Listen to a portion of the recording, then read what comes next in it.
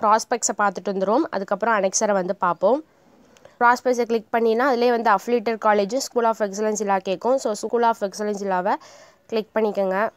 Download கேட்கும் download கொடுத்துக்கோங்க. Open பண்ணுங்கள் ஓப்பன் பண்ணால் இப்படி தான் இருக்கும். இந்த Tamil Nadu doctor Ambedkar law university இது வந்து சோயலுக்கு ஸ்கூல் ஆஃப் எக்ஸலன்ஸில் உள்ள ஃபைவ் இயர்ஸ் இன்டகிரேஷனுக்கும் ஹானர்ஸ்க்கு வந்து என்ன வந்து கொடுத்துருக்காங்க அப்படிங்கிறத வந்து பார்ப்போம். ஸோ அவங்களோட BBLS LLB degree course BCom BCA எல்லாமே ஃபீஸ் ஸ்ட்ரக்சரு செலெக்ஷன் ப்ரொசீஜர் எப்படின்னா செலக்ட் பண்ணுவாங்க. அதுக்கடுத்து அப்ளிகேஷன் ஃபார்ம் வந்து எப்படி வந்து சப்மிட் பண்ணணும். ரூல்ஸ் ரிசர்வேஷனுக்குனா என்ன ரூல்ஸ் இருக்குது ஸ்பெஷல் கேட்டகரியில் இருந்தீங்கன்னா என்ன பண்ணணும் அப்படிங்கிற ஒரு ஒரு டீட்டெயில்ஸும் வந்து அவங்க வந்து கொடுத்துருக்காங்க.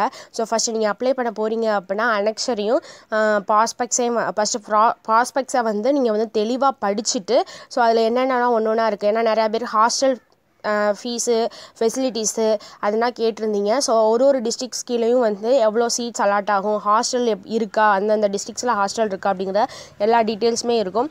நீங்கள் ஒன்று ஒன்றா வந்து படிக்கலாம். இல்லை school of எக்ஸலன்ஸ்னால name of the faculty members so அங்கே வேலை பார்க்குற ஃபேக்கல்ட்டி மெம்பர்ஸை பற்றி அவங்களோட நேம்ஸ் எல்லாம் கொடுத்துருக்காங்க.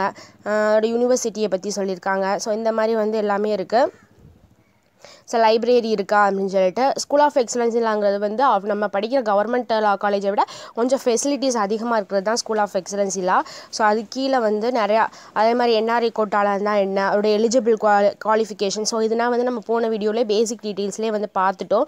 ஸோ அதே தான் வந்து இங்கேயும் கொடுத்துருக்காங்க. அதுக்கடுத்து ஃபீஸ் ஸ்ட்ரக்சர் வந்து கொடுத்துருக்காங்க. டியூஷன் ஃபீஸ்க்கு எவ்வளோ அட்மிஷன் ஃபீஸ்க்கு எவ்வளோ லைப்ரரி டெபாசிட்க்கு எவ்வளோ அதுக்கடுத்து லைப்ரரி ஃபீக்கு எவ்வளோ இன்டர்நெட் ஃபீக்கு வந்து எவ்வளோ அப்படின்னு சொல்லிட்டு ஒன்றுனா ஸோ நம்ம ஸ்கூல் ஆஃப் எக்ஸலன்ஸில் படிக்கணும் நிறையா மணி கட்டி வந்து படிக்கணும். அதே மாதிரி நம்ம கட் ஆஃபும் வந்து அதிகமாக இருக்கணும் அப்படிங்கிறத வந்து அவங்க மென்ஷன் பண்ணியிருப்பாங்க.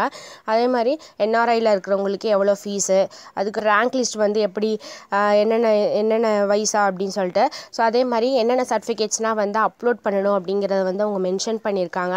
ஃபஸ்ட்டு வந்து five years BALLB BCom LLB எதாவது இருந்தீங்கன்னா ஃபஸ்ட்டு வந்து காப்பி வந்து SSLC SSLC tenth mark sheet அதுக்கடுத்து வந்து ஹச்எஸ்சி டுவெல்த்து மார்க் ஷீட்டு அதில் என்ன சொல்லியிருக்காங்க அப்படின்னா ட்ரான்ஸ்ஃபர் சர்டிஃபிகேட்டு டிசி இல்லைனா கான்டாக்ட் சர்டிஃபிகேட் இருக்கணும் அப்படிங்கிறத வந்து சொல்லியிருக்காங்க. ஆர் கொடுத்தாங்கன்னா இது இல்லை அப்படின்னா இது இருக்கணும் அந்த மாதிரி அர்த்தம்.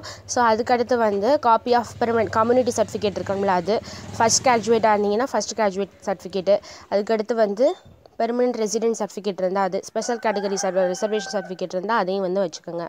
ஸோ இதுதான் வந்து இந்த சர்டிஃபிகேட்ஸ்னால் வந்து நீங்கள் வந்து அப்லோட் பண்ணணும் அப்படிங்கிறத வந்து அவங்க சொல்லியிருக்காங்க.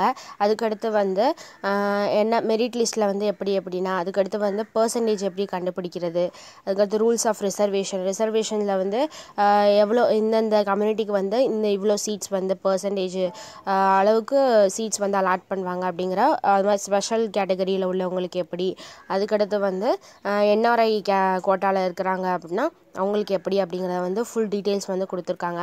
ஸோ இதை ஃபுல்லாக நீங்கள் வந்து தரவாக ரீட் பண்ணிவிட்டு அதுக்கப்புறம் வந்து நீங்கள் வந்து ஸ்கூல் ஆஃப் எக்ஸலன்ஸில் அப்ளை பண்ணுறீங்களா இல்லை அஃபிலேட்டட் கவர்மெண்ட் லா காலேஜில் அப்ளை பண்ணுறீங்களா அப்படிங்கிறத வந்து பார்க்கணும். ஸோ இதுதான் வந்து ஸ்கூல் ஆஃப் எக்ஸலன்ஸில் உள்ள ப்ராஸ்பெக்ட்ஸு ஸோ இதை வந்து நம்ம வந்து என்ன கொடுத்துருக்காங்க அப்படிங்கிறத வந்து பார்த்தாச்சு. ஸோ